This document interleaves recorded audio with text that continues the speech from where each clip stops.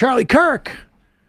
Is he now dressing better? What's going on here? Is he? Uh, why is he dressing uh, with think- a, with a tie? Yeah, I think he's transitioning to adulthood. I Oh, think yeah. it's finally, you know, he can't do the young conservative thing anymore. So, you know, you go to, I don't know, um, where does he go to shop?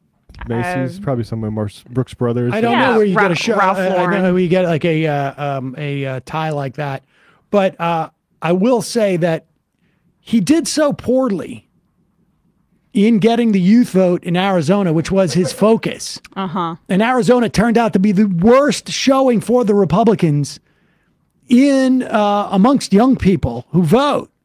Uh, that maybe he's decided like, hmm, I got to give up the ghost. The game is up. The jig is is done. Whatever it is, and uh, I'm gonna I'm gonna start with the tie. I don't know. Maybe he had an appointment though afterwards. Maybe a job interview. It kind of looks like a Catholic prep school uniform. I was gonna too, say though, this. So that tie is like when I had when I was getting confirmed in the faith uh, as Yeah. a young Catholic. That's what I had to wear. As I, you know, all my un- aunts and uncles came around and told me how proud of it. right, right, exactly. But here is uh, Charlie Kirk uh, talking about, I, I, I guess, I, I don't know, witches?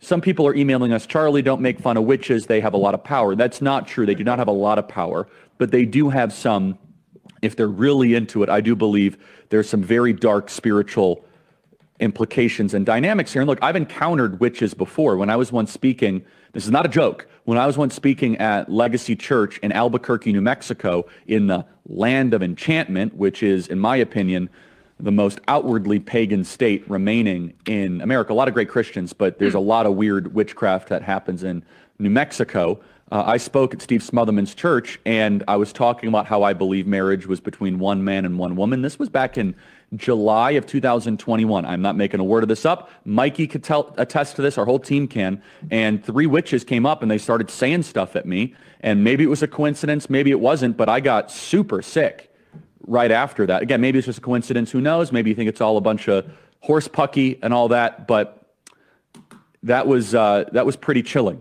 And so uh, they they came into the church. And by the way, Steve Smothermon, great friend in Albuquerque, tells me they have witches that come into their church all the time.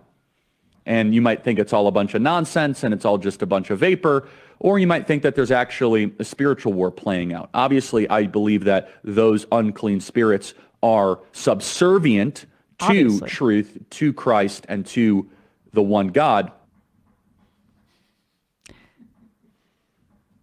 Um, he got sick after he was at a church Wow, in 2021 of all times. I mean, ask the producers. I was vomiting for. you did not want to go in there.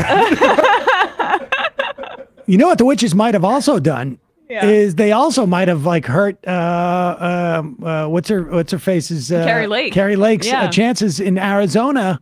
Uh, I mean, it's uh, Cast some Cross spells straight across the lines. will. Yeah. witchcraft go cross state lines? yeah, it's hard to say. I mean, if you can delineate like which is the most witchy state, it seems to- like they would be a little bit confined to the spill- border, but Well, probably there'd you probably some get some spillover. spillover, yeah, yeah. like pot. Well, uh, that's it's from the issue in this country. We don't really have enough state sovereignty and uh, border security, so that's the problem. Why is uh, New Mexico's the most pagan witchcraft state in his Because all the his opinion? vortexes. It's all the vortexes. All I of would because imagine, right? there's a Isn't lot there of a lot of uh, vortexes. That's Uh, what I think. I think it's a lot of indigenous people. Indige- I mean, right, you mentioned that's what I meant Albuquerque. Yeah, yeah. like uh, yeah, it's it's because of an indigenous people. I, I I'm pretty convinced. Um, it is interesting to just sort, of watch where these guys are going. And you know, the the we just had a an interview uh, about how American business taught us to loathe government and love the free market, and one of the mechanisms they used was the Christian religion and a bastardization of it or a reinterpretation of how it's taught in this country. Um, and so that's why you see a guy like that cling. The reason why he will, you know, proclaim that witches exist is because it is one side of a coin which he wants to also claim exists, which is the the the power of of Christ and God and I guess truth. Well, the demonic kind of. Is truth a Christian principle? well, I would not say To so. Christians, it is. but but but the the the refocus on like demons and kind of satanic spirits is also playing into their transphobia, which is uh, they've been essentially saying that uh, they're sick, they're mentally ill, they're uh, there's a, a dark movement trying to indoctrinate your kids into being trans or gay. That's just demon scary stuff, right? Um, and and so he's trying to play into that. That's his pivot. Uh, to your point, Sam. I also think like if I'm Charlie Kirk, all this stuff about like the his 20th century history and communism and fascism, like that's a lot of work. Yeah. I don't want to be reading history and Exactly. stuff. Much better to like uh, which is bad, Exactly.